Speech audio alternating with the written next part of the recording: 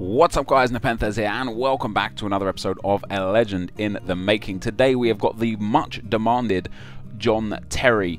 Um, John Terry for me guys is one of those people that I love to hate but I also love as well. Um, he, he's got a weird characteristic about him. He is very very passionate about his game but he's sometimes more known for his off-the-field antics than for his on-the-field abilities, and that's a shame in a player when when they let their personal lives overshadow their their professional careers. And I think that's happened with John Terry on more than one occasion, which is a shame. Now, before we get into the video properly, guys, if you want to purchase any FIFA Ultimate Team coins, check out thefootshop.com. Their link is in the description below. Very fast and reliable service, and if you use the discount code NEPO at checkout, you'll get a discount on your coins. So, um, John Terry has pretty much spent his entire career at Chelsea. He only uh, shied away from Chelsea for one loan spell where he went to Nottingham Forest for a season and only played six games.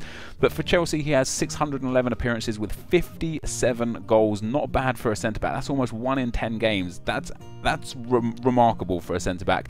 Um, and he's got 78 appearances for England with six goals as well. He has won the Premier League three times, the FA Cup five times, the Champions League one time, and uh, unfortunately was in the final of the Champions League where things didn't go so well for him and lost on penalties to Man United. He won the Europa League one time, the UEFA Team of the Year he has been in four times, and he won the PFA Player of the Year one time. Now I've given John Terry two star skill moves and a three star weak foot. Um, John Terry for me is like I said, he's a die-hard football player. He's one of those guys.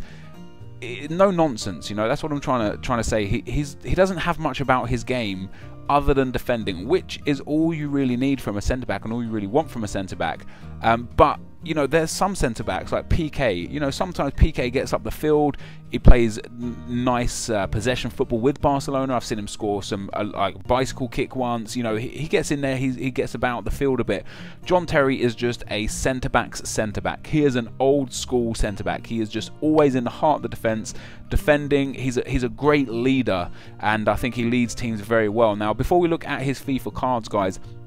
The ratings I give these players, 88s, 90s, 94s, or whatever, take them with a pinch of salt. It's more about the actual stats. Like the ratings are neither here nor there. They're, they're based largely on my opinion and my thoughts of the player, um, so that it might not reflect how how you see them and how you find them and and how you would base their values in the game. It's, it's about how I would base their values in the game. And I've given John Terry a 90 rating. Now he does have uh, two informs so far this this year's FIFA, and um, they they're they're actually decent cards. If only he did have a bit more pace. But for my legend card, guys, I've given him 65 pace, which I think is about the max that you can really give John Terry. He's never been known about being fast. Like I say, he, he's a leader. He's always in the right positions. He defends wholeheartedly, and that's what he's known for with that 93 defending and 92 heading. I've only given him 50 shooting. Like I said, he has scored like almost 60 goals. He does almost have like 1 in 10 uh, goal to game ratio, which is great, but that is because of his heading from free kicks and corners when he's attacking as a centre back rather than his actual feet shooting abilities.